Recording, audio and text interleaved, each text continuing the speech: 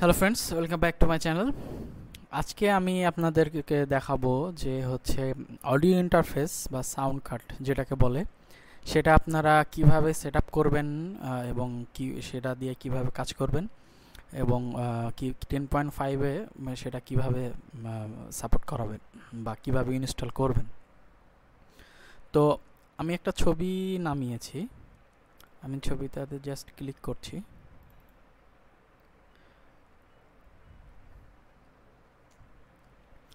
ছবিটা, ওপেন হচ্ছে, একটু সময় নিচ্ছে। হুম, এই যে দেখতে পাচ্ছেন ফোকাস রাইটের যে audio ইন্টারফেসটি, two i two third generation, এটা থার্ড জেনারেশন, যেটা আমি ইউজ করি।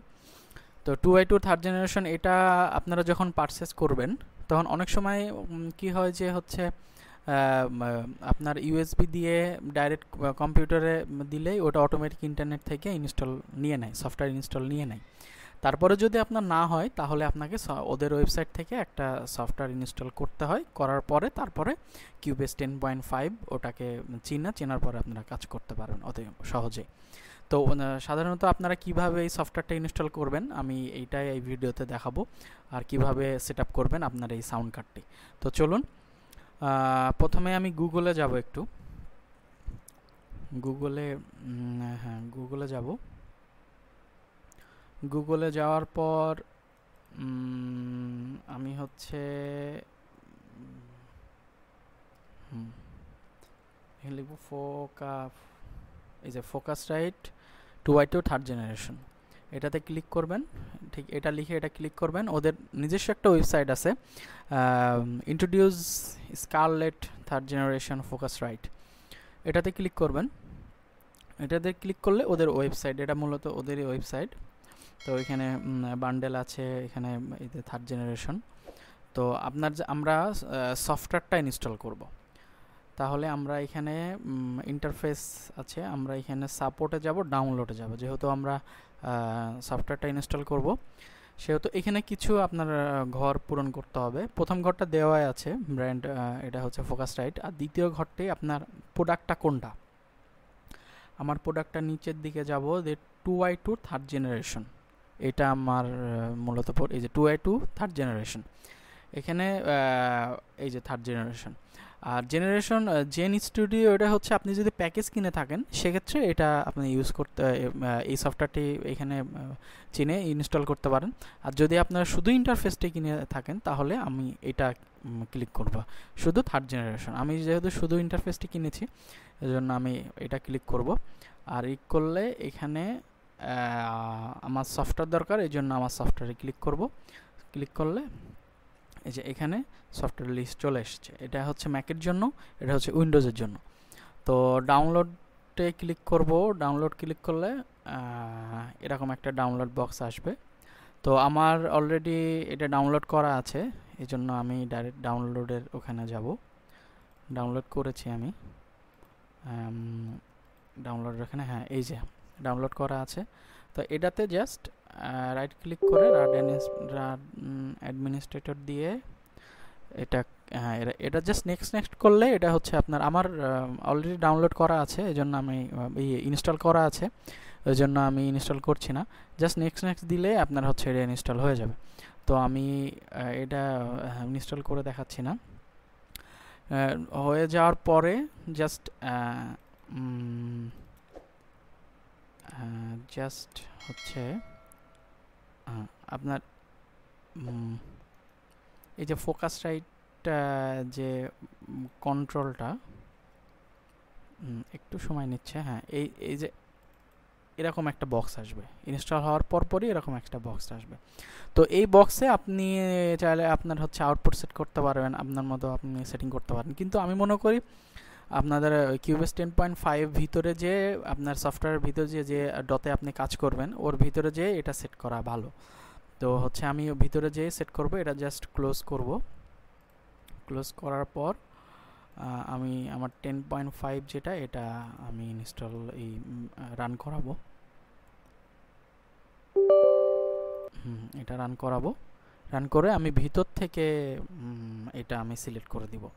এটা সফটওয়্যারটা ইনস্টল করার পর ভিতর থেকে যদি অটোমেটিক সিলেক্ট হয়ে যায়, আর যদি না করা থাকে, তাহলে আপনি সিলেক্ট করে নিতে পারেন ভিতর থেকে। একটু সময় নিচ্ছে। হ্যাঁ এটা আমার অলরেডি হ্যাঁ ওপেন হয়ে গিয়েছে। তো এখন যেটা করতে হবে, সেটা এই প্রজেক্টে আমি না যেয়ে, আমি শুধু জাস্ট এই ভিডিওতে সাউন্ড কার্ডটা কীভাবে আপনি চেনাবেন কিউবেসকে এটা আমি দেখাবো। ক্রিয়েট এমটি একটাতে ক্লিক করব। ক্লিক করলে আপনার এই রকম একটা হচ্ছে, এরকম একটা ফ্রেম আসবে। তো এখানে দেখেন অনেকগুলো অপশন দেখতে পাচ্ছেন আপনারা। তো এখানে স্টুডিওতে ক্লিক করব। স্টুডিওতে ক্লিক করলে এখানে স্টুডিও সেট আছে।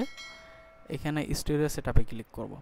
স্লিপ ক্লিক করার পরে এখানে অনেকগুলো অপশন আছে। আপনার যদি অন্য কোনো অপশনে ক্লিক করা থাকে, তাহলে আপনি ভিএসটি অডিও সিস্টেম এটাতে ক্লিক করে নেবেন। এটা, এটাতে যখন অন্য কোনো অপশনে ক্লিক করা থাকতে পারে, তো আপনি ভিএসটি অডিও সিস্টেমে ক্লিক করে নেবেন।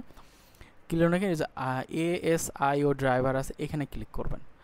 তো এখানে অনেকগুলো অপশন দেখাবে। অনেকগুলো অপশন দেখালে আপনারা যখন উইন্ডোজ টেন সেট দেন, তখন অনেক sound built in sound card install হয়। তারপর অনেক সফটওয়্যার সেট দিলে সাউন্ড কার্ড ওখানে বিল্ডিং সাউন্ড কার্ড থাকে, ওগুলো ইনস্টল হয়।